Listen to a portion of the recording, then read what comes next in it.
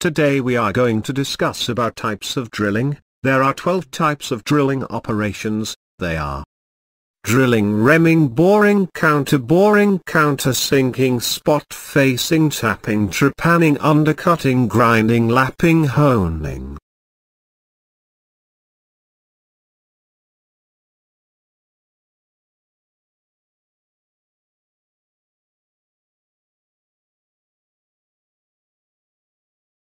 Click the subscribe button to subscribe to Chennai Minds.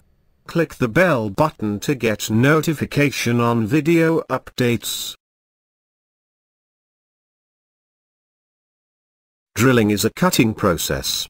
Drill bit is used to cut a hole of circular cross-section in solid materials. The drill bit is usually a rotary cutting tool, and a multi-point cutting tool. The drill bit is pressed against the workpiece and rotated at rates from hundreds to thousands of revolutions per minute. This forces the cutting edge against the workpiece, thus cutting off chips, swarf, from the hole as it is drilled.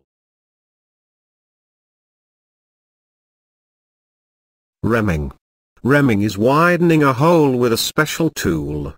A reamer is a type of rotary cutting tool used in metal working. Reamers are designed to enlarge the size of a previously formed hole by a small amount but with a high degree of accuracy to leave smooth sides. Types of reamer. 1. Straight reamer. A straight reamer is used to make only a minor enlargement to a hole. The entry end of the reamer will have a slight taper, the length of which will depend on its type 2. Hand reamer. A hand reamer has a longer taper or lead-in at the front than a machine reamer. This is to compensate for the difficulty of starting a hole by hand power alone. It also allows the reamer to start straight and reduce the risk of breakage. The flutes may be straight or spiral. 3. Machine reamer colon Machine reamer only has a very slight lead-in. Because the reamer and workpiece are pre-aligned by the machine there is no risk of it wandering off course.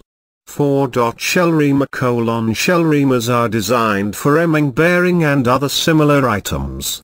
They are fluted almost their whole length. 5. Taper reamer. A precision tapered reamer is used to make a tapered hole to later receive a tapered pin.